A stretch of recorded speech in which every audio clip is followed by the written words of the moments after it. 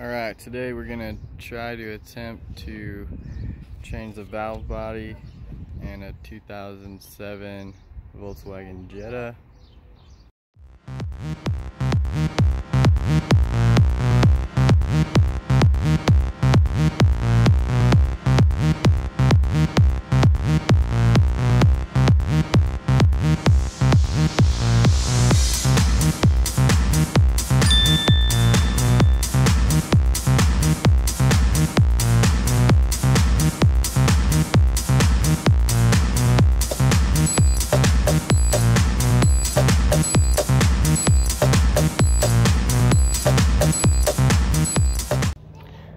Got the valve body from a donor car.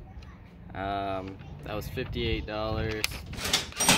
We got a new um, oil pan from O'Reilly's. This was actually the most expensive for 146 um, We got new uh, filter kit for $25 and we got our ATF fluid um, for 18. I'm not going to do a full um, flush.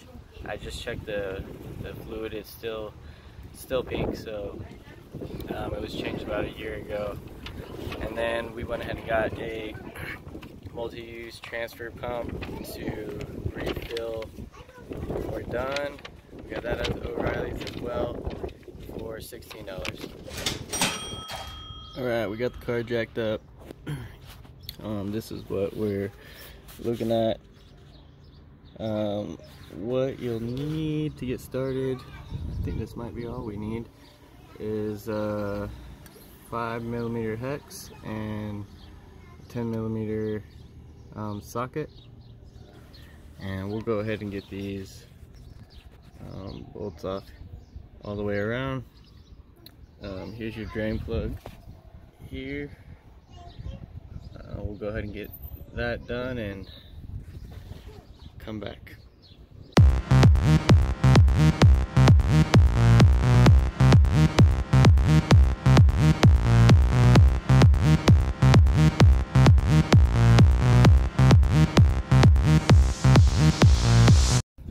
Alright, so finally stopped. That's how much came out.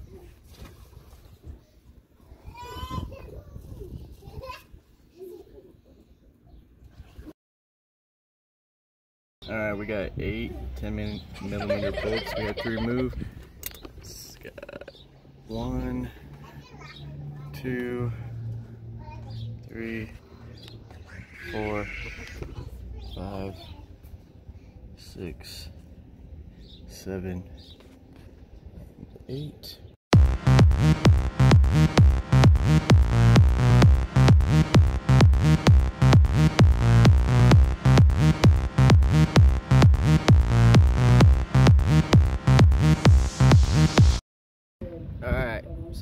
Once you get the pan off, that's the old one, there's this little tower inside that you gotta you gotta take off your your bolt and then unscrew that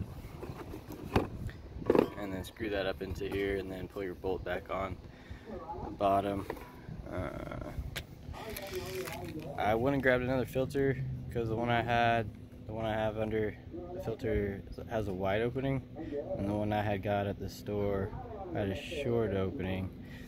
And it was like a three dollar difference in price. I don't they said it was both compatible but I didn't want to risk it so I want to swap those out.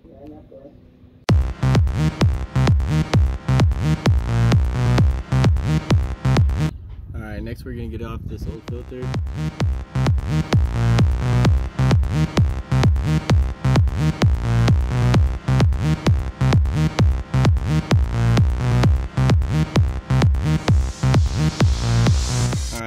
filter off. We gotta start unhooking all these wires, so now would be a good time to take some pictures.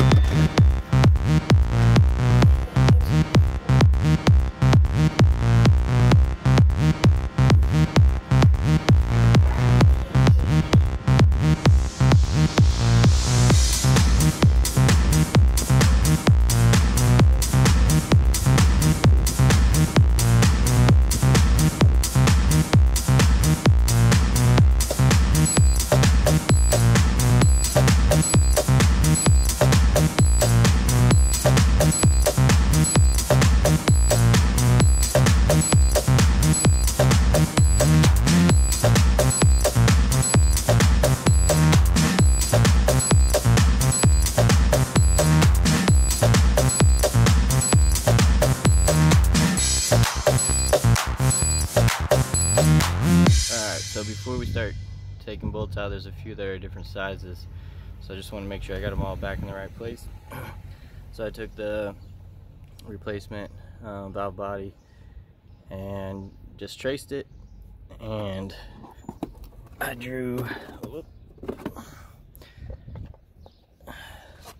drew little circles where bolts go and we'll as we take them off we'll place them in the correct areas Alright, so before we start taking all the bolts out along the edge, um, we're going to move these uh, clips the rest of the way and this um, this lever right here. So let's go ahead and do that.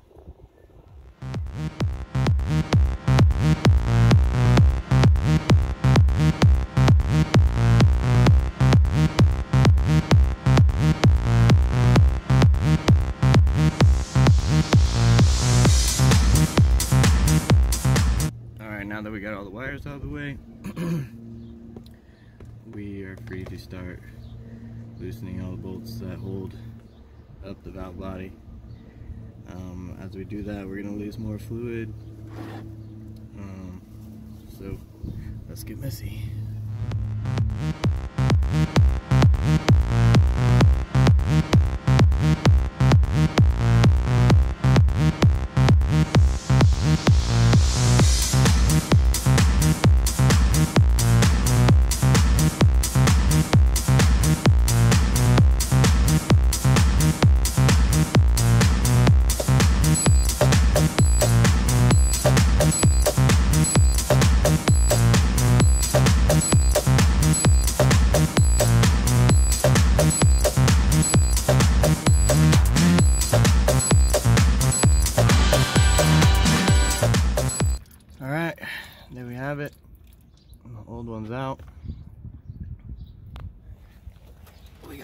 Bolts in the right places so we can put it back together. This one's trying to escape. Anyways, well, all right, so we're gonna grab our our replacement one and swap over a few um, bolts, brackets, and we'll get the new one on.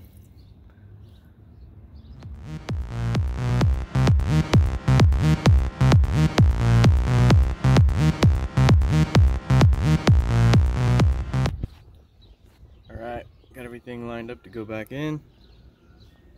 All our bolts ready. Yes, let's do this.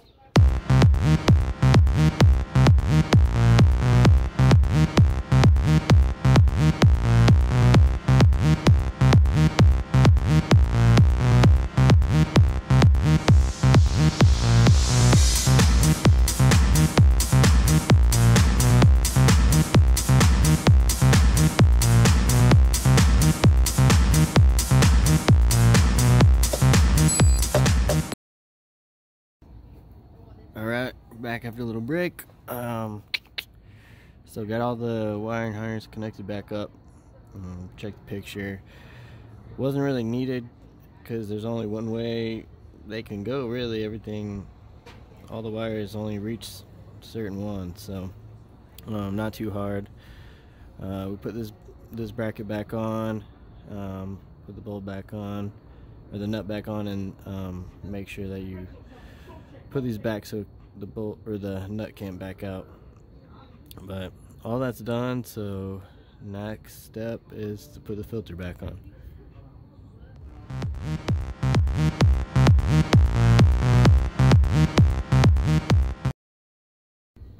All right now we got the filter on. Um, we got the gasket in place. Um, make sure you swap over your, your magnets if you are replacing your pan and yeah, let's get it on. Alright, for some reason my camera didn't record, but um, got all um, got the pan on. got all the bolts tightened down. And now it's time to add oil. Alright, this is what we drained out today. Um, I don't know if you can see right here. Okay. We are at six quarts. So we're gonna replace six quarts.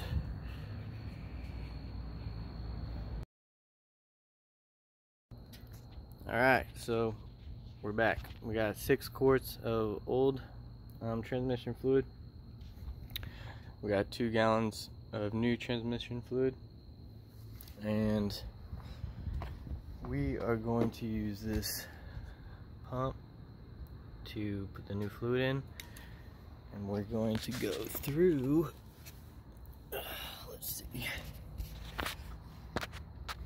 this wiring harness. So take this out and put the new fluid in here um, it's full.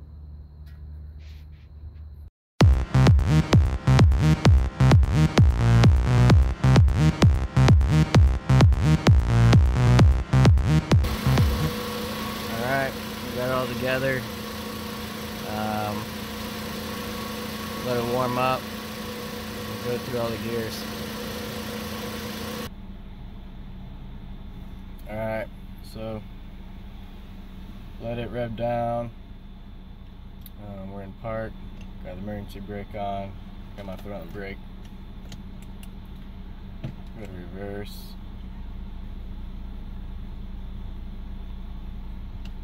And we'll go to neutral. We'll go to drive. I can feel it shifting through. We'll go to standard. First. Go to second. And go back to first. Back to auto. Neutral. Reverse.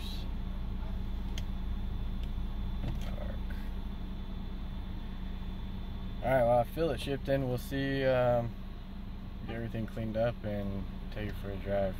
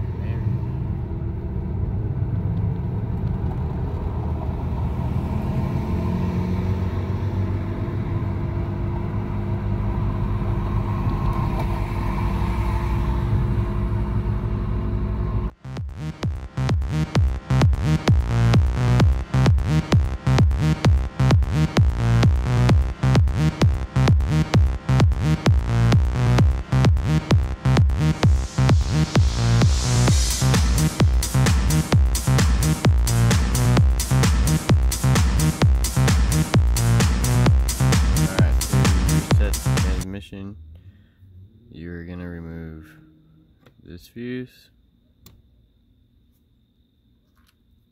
And this views.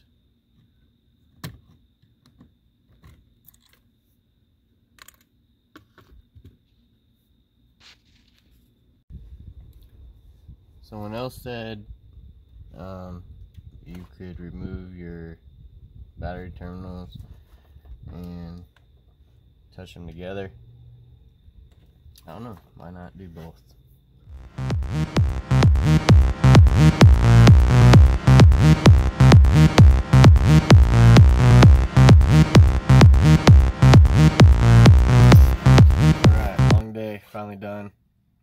Um, once we got everything put back together, I took it on a test drive, and first time around, um, ran fine. Uh, felt a little bit of a, a weird shift. Um, took it around again, it got worse, and so I brought it back. I leveled out the car. I checked the fluids; it was actually high. Um, so I I drained it. I I let it drain through any excess fallout.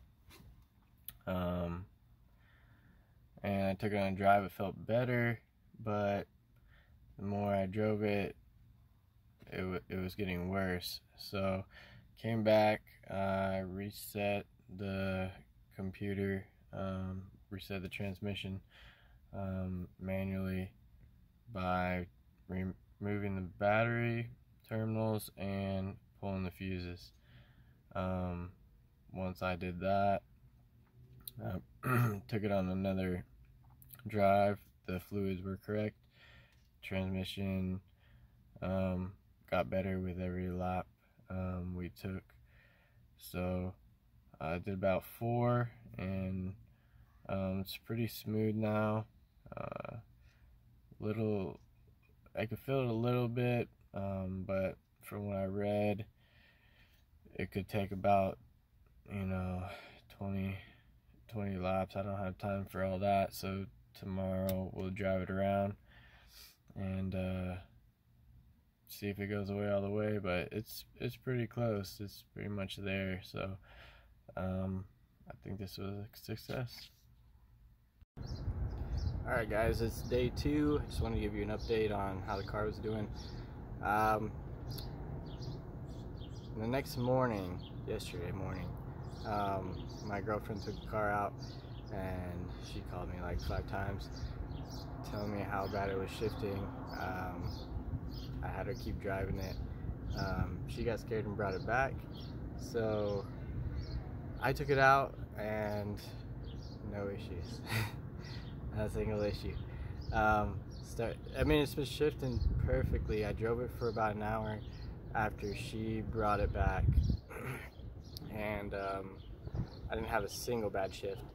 Um, and then she drove it all day today, um, doing deliveries, and she was like, "You're amazing, you fixed it." So um, it is true what they say that um, it will get worse before it gets better. It, it has to learn, um, it has to program.